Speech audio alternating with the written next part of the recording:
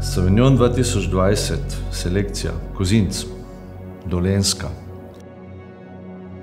Še pet let nazaj si ne bi nihče mislil, da bomo imeli dolenska vina, bi rekel, v eni taki selekciji.